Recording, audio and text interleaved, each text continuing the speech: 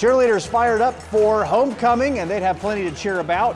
Up 35 0 at this point, but Ada trying to crack the goose egg in the score column. Levi Green, the freshman, scrambles, picks up the third down, and almost gets into the end zone, dropped at the one.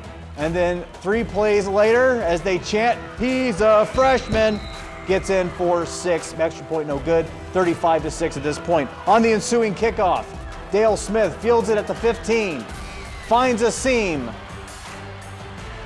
He's going to find something else to rhyme with seam, but nothing's coming. He's gone to the house. Smith, 85 yard touchdown. Nice response by Spencerville. Bearcats with the football again, and it's more Dale Smith.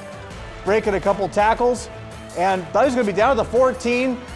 Gets a couple more yards, makes it first and goal for Spencerville. A couple plays later, Tyler King finishes the drive off for the Bearcats. Spencerville picking up the 56 20 win tonight over Ada.